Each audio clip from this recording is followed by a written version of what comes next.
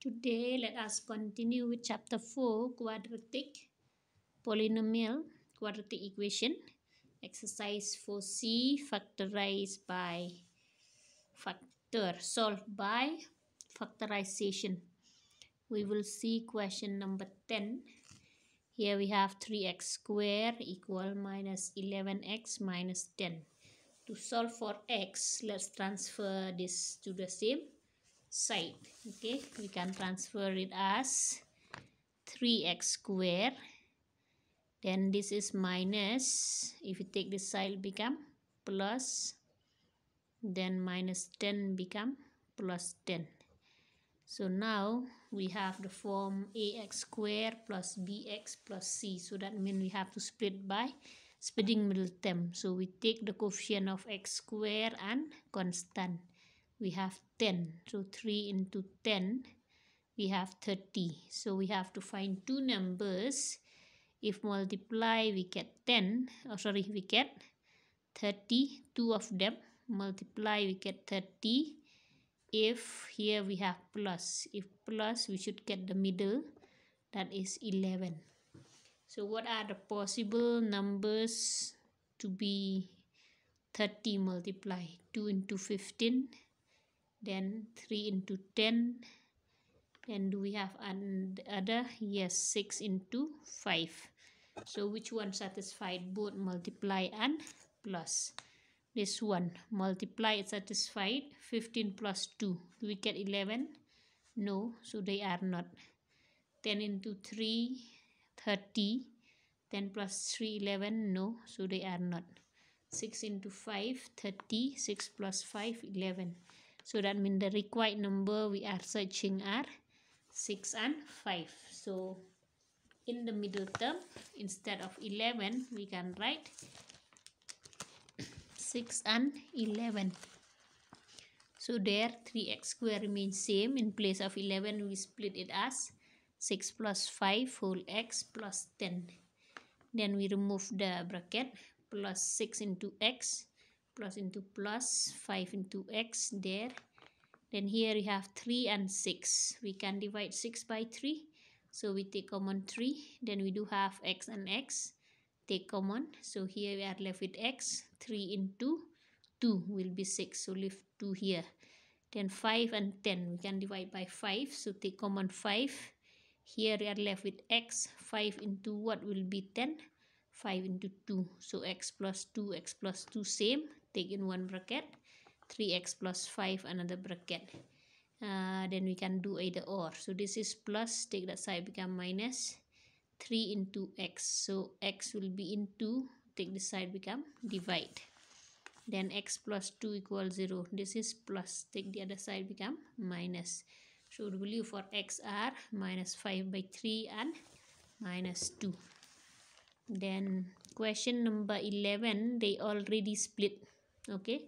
They already split the middle term. So our work is only to uh, take common. So first remove the bracket then after that we can take common.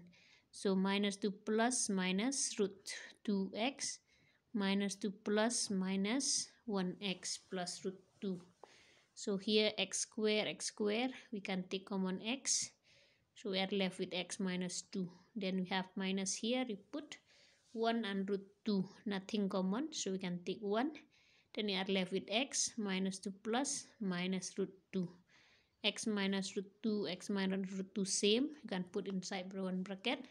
x minus 1 another 1 then here minus take that side become plus. Here also minus take that side become plus. So the value of x in this equation is 1 and root 2 then we go on to question number 12 here we have x minus 1 by 2 whole square. So that means we can apply first the formula a minus b whole square. We can arrange it to become proper then only we will split. So here apply a minus b whole square. It will be a square minus 2ab plus b square. Still equal to 4 x square let it be 2 and 2 we can cancel. X 1 into 1 1 2 into 2 4 this is plus bring side become minus. Since we have fraction let us take LCM uh, denominator there is no number mean 1 so 4 into 1 will be 4 1 divide 4 4 4 into x square will be 4x square. 1 divide 4 4 4 into x will be 4x then we have plus 4 divided 4 1 1 into 1 1 1 divide 4 4 4 into 4 16 so 4x square minus 4x all different variables we cannot plus we cannot minus. minus one has no variables, 16 no variables. One is minus one is plus we can minus. Then 16 minus sign is greater. Then here 4 into 0 0 so now we get in the form ax square plus bx plus c. So we can split middle term.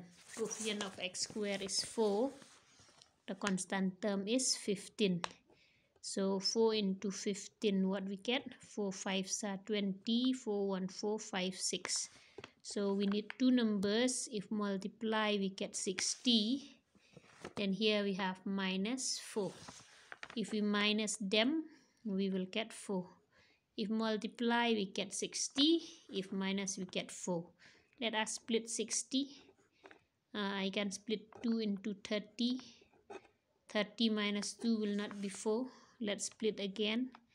2 into 5 15 so 2 into 2 4 15 minus 4 will not be 4 again continue to split 3 into 5 2 into 2 4 4 into 3 12 12 minus 5 will be 7 so let us try to rearrange them. 5 into 2 will be 10 3 into 2 6 so 10 into 6 we have 60 10 minus 6 will be 4 so the required number will be 10 and 6 so in the middle term we can put with 10 and 6 so 4x square minus remains same. Only in place of 4 we can put with 10 minus 6 because 10 minus 6 equal 4 so it does not make difference. Now remove the bracket. 4x square minus 10 into x 10x 2 minus plus 6x minus 15 equal 0 then here 4x we can do 2 into 2 then you can do 2 into 5 so you can take common 2 and then x also we have.